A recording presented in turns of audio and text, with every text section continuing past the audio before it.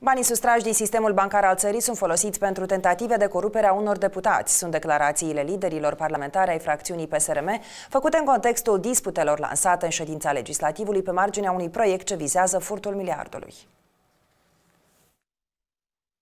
Discuțiile au început de la un proiect enunțat de deputatul socialist Vladimir Golovatiuc, prin care Banca Națională este invitată cu un raport în Comisia de Anchetă pe marginea devalizării sistemului bancar. Banca Națională a Moldovei Până la 1 aprilie 2020 va prezenta Parlamentului un raport privind legalitatea, modalitatea de repartizare și de utilizare a creditelor de urgență acordate pentru Banca de Economie, Banca Socială, Unibank în perioada 2014-2015.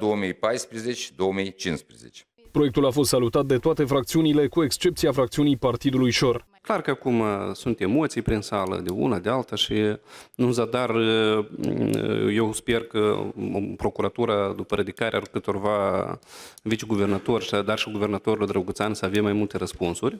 Pentru că noi, noi asta am spus că acolo a fost cheița prin care au fost deschise uh, safeul și au zburat banii. Deputații fracțiunii Partidului Șor au venit cu mai multe observații și doleanțe care în mare parte nu țineau de subiectul proiectului. Сейчас очень четко и ясно понятно, что комиссия занималась совсем не тем. Комиссия занималась констатацией фактов, а это и так было известно. Tare ne dorim ca comisia de anchetă să fie foarte atentă și să ne raporteze în privința creditelor care nu au fost rambursate, ceea ce ține de Banca de Economie. Я не буду говорить, что я уже устал отвечать на подобного рода вопросы. Речь не идет о каких-либо кредитах, которые были выданы в пятом, шестом, седьмом и не возвращенных в девятом, десятом, одиннадцатом годах. Это другие кредиты, и никакого отношения к краже миллиарда это не имеет. Оставим эти кредиты уже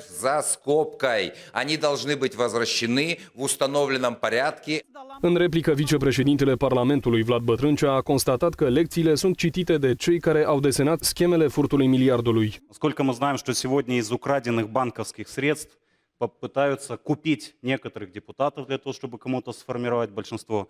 Мы убеждены, что органы прокуратуры и другие разберутся объективно с этими вещами и население Республики Молдова, все граждане узнают героев. Declarațiile vicepreședintelui legislativului au fost confirmate și de șeful fracțiunii parlamentare a socialiștilor. Хотел вам посоветовать, чтобы не, вы не теряли время зря с объяснением э, авторам э, схемы, как эта схема работала. Они ее прекрасно знают. Этими деньгами сегодня подкупаются и подкупались, есть уже подкупленные депутаты, которые образуют какую-то группу, группировку во имя какого-то человека, который руководил всей этой схемой.